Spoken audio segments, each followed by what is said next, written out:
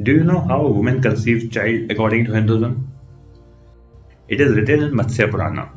The menstrual flow of a woman suddenly develops conception as soon as it mingles itself with the semen virile of man through the sap of the flowers of herbs. So when semen mixes with menstrual blood, child is conceived according to Hinduism. Hinduism says that a woman can become pregnant by drinking semen. At that time, Menaka was passing by that way. At the sight of her thigh and breast, the semen of the saint was discharged. Thereupon, the woman Kalavati drank it cheerfully, went to her husband, bowed to him, and told him everything about her pregnancy. Written in Brahma Vaivarta Purana, Brahma Kanda. The Hindu scripture says that the gold was created when the god Shiva ejaculated. Just as a maddened bull, elephant follows a female elephant who is able to conceive pregnancy. Lord Shiva followed the beautiful woman and discharged semen, even though his discharge of semen never goes in vain. O king, wheresoever on the surface of the globe fell the semen of the great personality of Lord Shiva, mines of gold and silver later appeared.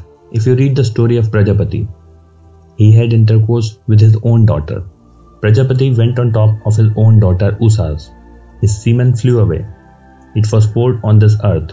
He made it perfect, thinking, Let the semen of mine not be spoiled.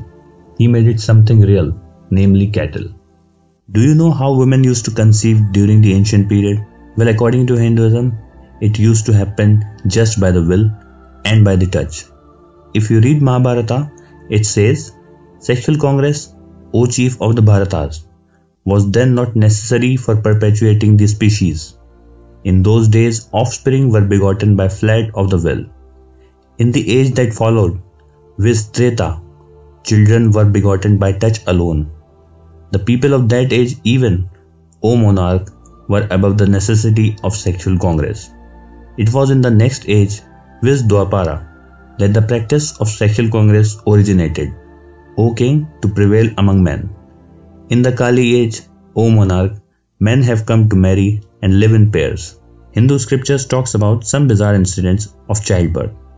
Lord Brahma then gave birth to the demons from his buttocks, and they were very fond of sex because they were too lustful.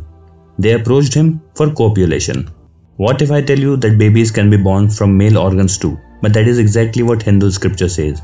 If you read Shiva Purana, it says it is by repeating this mantra that Sukra came out of the belly of Shiva through the penis like the powerful semen. Another bizarre way of conceiving pregnancy, according to Hinduism, is by drinking semen. If you read Mahabharata, it says, The Rishi thus addressed, answered Janamejaya, O Janamejaya, this my son, deep in ascetic devotions, accomplished in the study of the Vedas, and endued with the full force of my asceticism, is born of the womb of a she snake that had drunk my vital fluid. Sometimes Hindu gods could be naughty and wicked. The Supreme Personality of God had said, If you girls are actually my maid servants, and if you will really do what I say, then come here with your innocent smiles, and let each girl pick out her clothes. If you don't do what I say, I won't give them back to you. And even if the king becomes angry, what can he do? Then, shivering from the painful cold, all the young girls rose up out of the water, covering their pubic area with their hands.